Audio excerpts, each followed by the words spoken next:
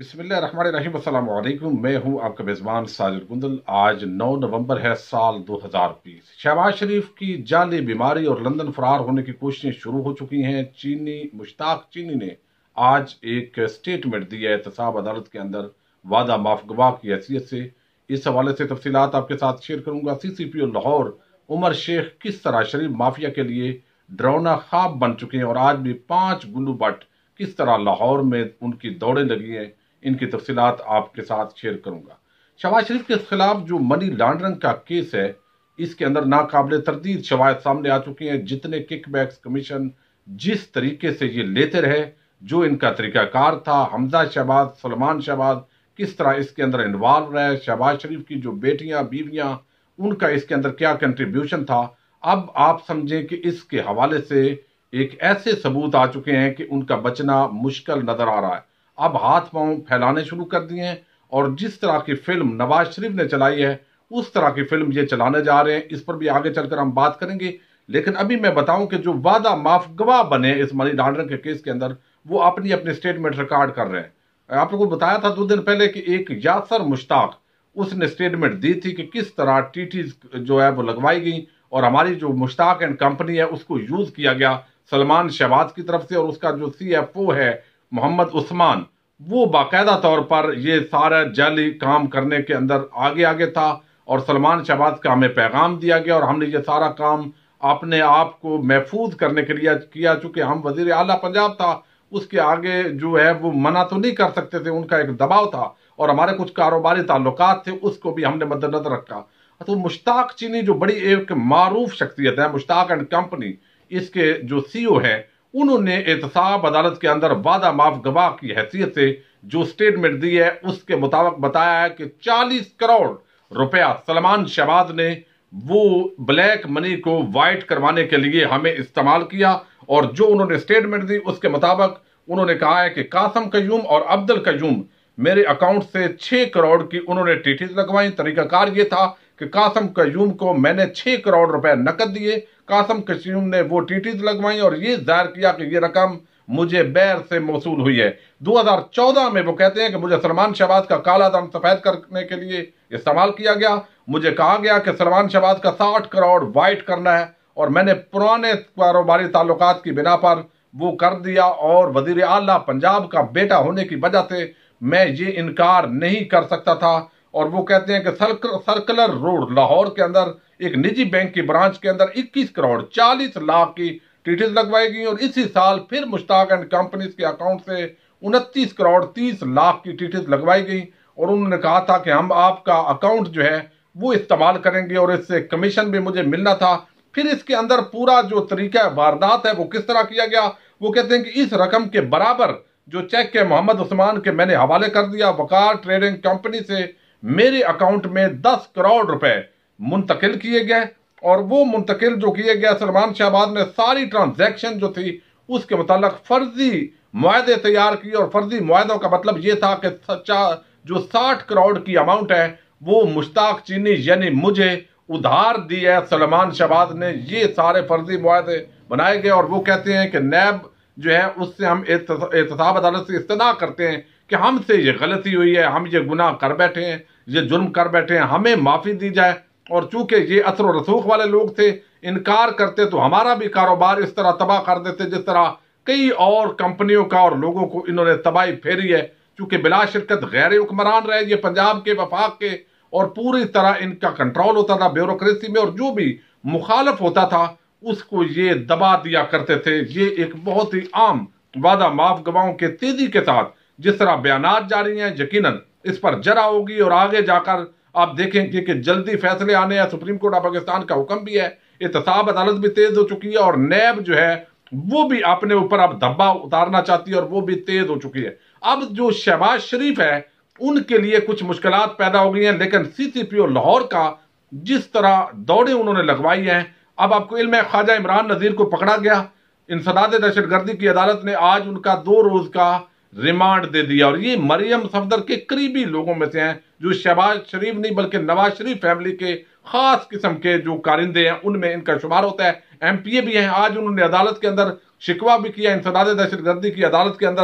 ارشد حسین بھٹا، جس کے جج ہیں کہ جناب جائی صاحب مجھے وہاں رکھا ہے جہاں واش روم بھی نہیں ہے۔ دیکھیے، یہ کتنے نرم و نازک اور ملائم قسم کے لوگ ہیں کہ ان کو جب تھوڑی سی سہولیات نہیں ملتی تو یہ روتے ہیں۔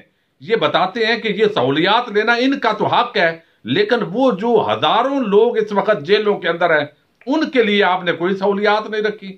وہ جرم کرتے ہیں، لیکن اس کے بعد جو انسانی ہمدردی ہے یا وہ تعلق، وہ چیزیں آپ، ان کی کوئی فکر نہیں۔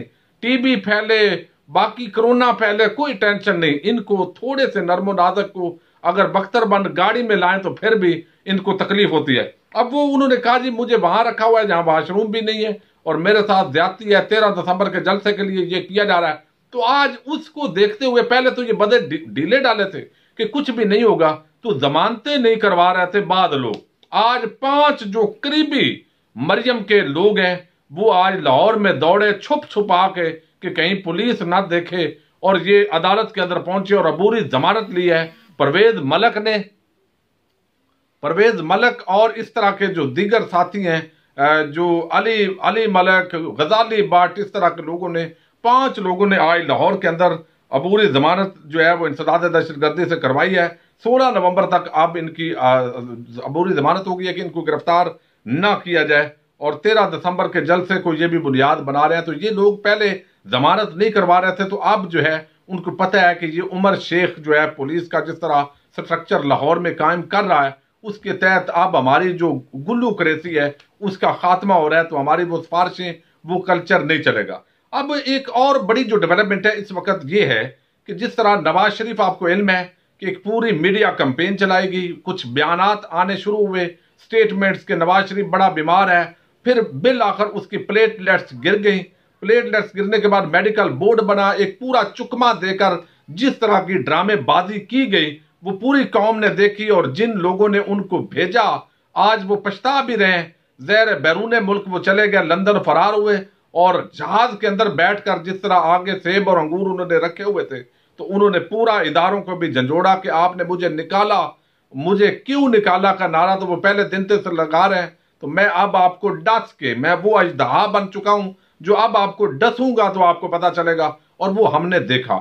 اب جو شہباز شریف ہے اس کا یہ جو منی لانڈرنگ کے کیسز ہیں، اس کے اندر ناقابل تردید شواہد آ چکے ہیں۔ اگر ہمارے ملک کے اندر کوئی غداری نہ ہوئی، کوئی بیک ڈور اس طرح کی جو ہے بے وفائی نہ ہوئی اس ملک اور بائک کروڑ عوام کے ساتھ، تو ان کی بالکل اس کے اندر یقینی طور پر نظر آ رہا ہے کہ یہ سزاؤں کے اندر جائیں گے اور پیسہ ان کو واپس کرنا پڑے گا۔ اور میں حیران ہوتا ہوں، وظیفہ خور صحافیوں کر کہ جو ان ایشوز پر بات ہی نہیں کر رہا ٹیلی ویژن کے چینلز پر۔ کہ بھئی آج وعدہ مافگواہ نے یہ سٹیٹمنٹ دیا ہے، یہ پروف آیا ہے، وہ ادھر ادھر کی پی ڈی ایم اتحاد ٹوٹ رہا ہے، بن رہا ہے، اس پر بات ہو رہی ہے۔ تو اب یہاں پر سب وعدہ معاف گواہوں کے بیانات ہیں ٹرانزیکشن ہیں، بینک کی سارا کچھ موجود ہے اور یہی آصف درداری کے حوالے سے بھی سارے پروف موجود ہیں۔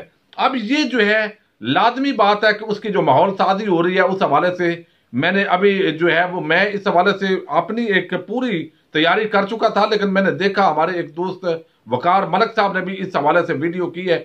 زبردست انہوں نے باتیں کی ہے میرا بھی پوائنٹ آف ویو تقریباً اسی طرح کا ہے جو میں دیکھ رہا ہوں۔ میری اسیسمنٹ بھی کہ یہ جس طرح کا ماحول بنا رہے ہیں، ماحول کے تحت جو ہے، وہ یہ ہے کہ جعلی بیمار بنائیں گے۔ ابھی اس کی ریڑھ کی ہڈی کو خراب ہوگی ہے، تکلیف ہوگی حالانکہ یہ وہ ڈرامے باز شباز شریف ہے جو ایک دفعہ لاہور کے اندر یہ بتا رہا ہے عدالت کے اندر کہ میری ریڑھ کی ہڈی کو بڑی سخت کمر کی، کمر کو تکلیف ہے۔ اور مجھے فوری طور پر یہاں میں بیٹھ نہیں سکتا اور دوسرے دن جا کر اسمبلی کے اندر کھڑے ہو کر یہ تقریریں بھی کر رہا ہے میٹنگیں بھی کر رہا ہے، کوئی تکلیف نہیں ہوتی۔ تو یہ بیسیکلی جھوٹے اور بدیانت اور خائن قسم کے لوگ ہیں۔ ان کے لیے اس طرح کی سٹیٹمنٹ دینا معمولی بات ہے۔ اب یہ اس طرح کی پہلے بھی یہ بیمار ہو جاتے ہیں جب ان کو جیل میں ڈالا جاتا ہے۔ اب کیا ہوگا؟ اور ہماری عدالتیں پورا جو نظام ہے، ان کے لیے بڑا نرم اور ملائم ہوتا ہے۔ اور ان کو بڑی تکلیف ہوتی ہے جب ان مافیا کو تکلیف ہوتی ہے۔ تو اب ممکنہ طور پر جب وہ یہ دیکھیں گے تو طبی بنیاد پر ضمانت کی اپلائی کریں گے۔ ان کو تکلیف ہو گئی، آج ان کو اٹیک ہو گیا، آج میڈیکل کی گراؤنڈز نہیں دے گی سارا جو مریم اورنگزیب تیمینہ دورانی اور سب جو لگے ہوئے ہیں، اس کے تحت اور پھر جو ہے، وہاں سے ان کو کوئی ایسی بیماری لاک ہو جائے گی کہ انہیں لندن بھیجا جائے گا تاکہ ان کے جو بھائی ہیں، ان کو وہ روکیں یا طبیعت خراب ہو۔ اگر اس طرح کی اس ملک کے ساتھ کوئی بے وفائی کی جاتی ہے تو یقیناً عوام کو کھڑے ہونا چاہیے، چونکہ دشمن وہ لوگ ہیں اس ملک کے جو در پردہ ان چوروں ڈاکوؤں سے ڈیلیں کرتے ہیں اور باقاعدہ جو ہے وہ دوبارہ ان کو مسلط کرتے ہیں۔ اگر کوئی کہے کہ شباز شریف اچھا ہے، نواز شریف برا ہے، تو بیسیکلی یہ وہ سوچ ہے جو گڈ طالبان اور بیڈ طالبان والی بات ہے، اسی سے ملتی جلتی ایک اپروچ ہے۔ یہ بہت بڑی بے وفائی ہے۔ مافیا مافیا ہے۔ کرپٹ کرپٹ ہے۔ قاتل قاتل ہے گنڈا گنڈا ہے۔ یہ بات نہیں ہے کہ یہ فلاں ہے یا فلاں ہے۔ زرداری جو ہے، وہ جہاں پر بیٹھا ہوا ہے، اس کو بھی طبی بنیاد پر پکڑنے کی ضرورت ہے۔ تقریر بڑی اچھی کر لیتا ہے پی ڈی ایم کے اجلاس کے اندر۔ تو اب یہ باتیں بڑی عام ہے جو ان کی سٹریٹجی نظر آ رہی ہے کہ جب یہ پھنسیں گے اور ان کو علم ہوگا کہ اب کوئی جو ہے، اس طرح کا نہیں ہے، تو یہ سزا سے پہلے یہ نکل جائے گا۔ کیونکہ نواز شریف کا معاملہ یہ تھا کہ اس کو سزا ہو گئی اور سزا کے بعد اس کو نکالا گیا اور بہت زیادہ تنقید ہوئی۔ لیکن یہاں پر اگر یہ ضمانت پر رہا ہو جاتا ہے اور سپریم کورٹ آف پاکستان نے آلریڈی ای سی ایل میں نام جو درج کرنے کی استدعا ہے وہ مسترد کر دی ہے نیب کی۔ تو اب یہ اگر جائے گا بیرون ملک تو اس کو روکا نہیں جا سکے گا۔ یعنی حکومت تو روک سکتی ہے اپنے طور پر وزارت داخلہ، لیکن پھر کوئی جواز نہیں ہوگا۔ چونکہ یہ ملزم ہوگا، مجرم نہیں ہے۔ اللہ کی ثانیہ ماڈل ٹاؤن کرنے کے بعد اس پر لفظ ملزم نہیں، مجرم ہی اصل میں آتا ہے۔ لیکن بہرحال یہ ایک لیگل ٹیکنیکلٹیز ہے جس کے اندر وہ بھاگنے کے اندر کوشش کرے گا۔ اور یہ شریف مافیا جو ہے، لندن فرار ہونے کی پلاننگ کر رہا ہے۔ اور لندن سے بھی ذرائع اس طرح کی خبریں دے رہے ہیں۔ اور یہ پورا اس کے لیے ماحول سازی ہو رہی ہے۔